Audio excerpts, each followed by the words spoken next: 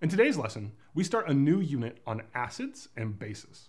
Now, you've probably heard of acids before, and when you think of acids, you probably picture a big, dangerous vat of chemicals.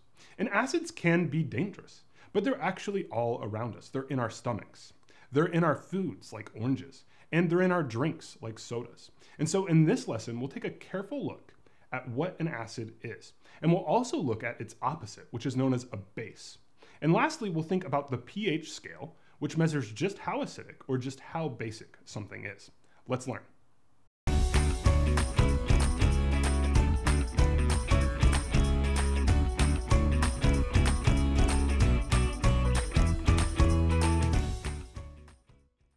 In this lesson, we'll learn to identify acids, learn to identify bases, and we'll introduce the pH scale. Well, as we've mentioned, acids are all around us. And here we see a slice of lemon being used to prepare fish. That lemon contains citric acid, and it reacts with a base inside the fish to begin to prepare it for cooking. So acids are all around us. And if we look in a chemistry textbook, we'll see that acids typically have formulas like this. Here we see HClO4. And we notice that's called perchloric acid. So the names always end in acid. And that makes it pretty easy to know if you have an acid when you have the name written out.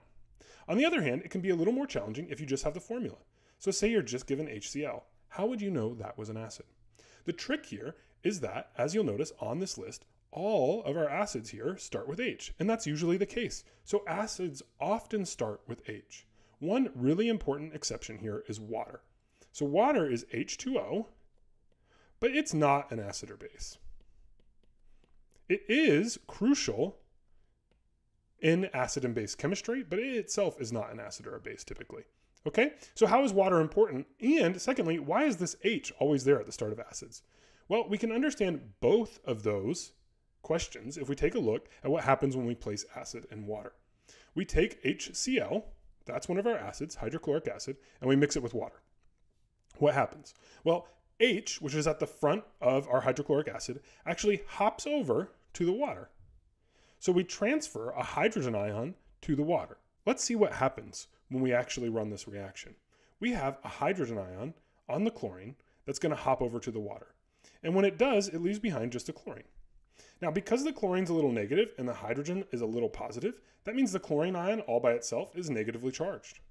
Then we also get that water, but because a hydrogen ion is transferred to it, it's actually H3O plus because we have one more hydrogen ion. And it's positively charged because the hydrogen ion it gained is positively charged. And this right here is actually the key to acids. Anything that makes this in water is in fact an acid. And that's the definition of an acid, a substance that makes H3O plus in solution. And so if you look at this flask that contains hydrochloric acid, you'll see some green ions floating around that are chloride ions. You'll see some red and white molecules floating around that are water molecules. And in some cases, those water molecules have not just two hydrogens, but three. They've gained an extra hydrogen ion. So they have one, two, three. This is what makes that thing acidic. If it makes H3O plus in solution, it's an acid. Now, there's one other way that you'll see acids shown. And that is they'll just completely ignore the water. Because the water is always there, they'll just take HCl, hydrochloric acid, and they'll show it splitting apart into just H plus and Cl minus. So there's two ways to represent acid in solution. Sometimes we use H3O plus, and this is frankly the more accurate way to do it because that's actually what's present in solution. But sometimes as sort of a shorthand, we'll use H plus. The H3O plus is called the hydronium ion, the H plus is called the hydrogen ion or sometimes just a proton. Let's think about why that's called a proton. Well, if you recall, hydrogen has one proton in the center, and if it's neutral, has one electron. So that's a normal hydrogen atom. Well, if you make it positively charged, you get rid of that one electron, and then what's left there? Just a proton. So that's why it's also sometimes called a proton. So three terms for you to be familiar with, hydronium ion, hydrogen ion, and proton. Now, what about bases? Like we said, they're the opposite of acids. So here on the right, you see a picture of a stomach. And in that stomach, we have acid. So all of us have stomach acid floating around, and it's H3O+. plus. And sometimes that acid goes up into our esophagus where it doesn't belong and where our body's not prepared for it. And it can burn our esophagus, and we call that heartburn. And it creates a discomfort in our chest. The answer to that problem, if you have heartburn, is to take what's called an antacid. And this is an antacid, which is just another way to say that we have a base, the opposite of an acid. And what we'll do with that antacid is we'll take it and we'll combine it with the acid in our esophagus and it'll neutralize it. Let's take a look at just how that works by understanding better what a base is. So here are the list of formulas you'll see for bases if you took a look in the chemistry textbook. And you'll notice, notice here we don't see the word base, but we do often see the word hydroxide. And hydroxide is just the name for the polyatomic ion, which is OH minus. So actually the way we recognize bases is that they often end in OH. So if you see this ending of OH, which is hydroxide, you know that you have a base. Now let's look at the definition of a base. It's a substance that makes OH minus in solution. OH minus also called the hydroxide ion. And so if I take NaOH, which is sodium hydroxide, a very common base, and I put it into water, it'll split apart into Na plus and OH minus. And it's that OH minus that makes it a base. Okay, so now we're ready to think about why bases and acids are opposites. So here is my stomach. I've added my antacid. So I'm combining an acid and a base. Well, recall that a base in solution has OH minus and an acid in solution has H plus. What happens when those combine? Well, it turns out that two H's makes H2 because, right, we had one H here and two H's there, and then we still have an oxygen, H2O. What have we made? We've made water.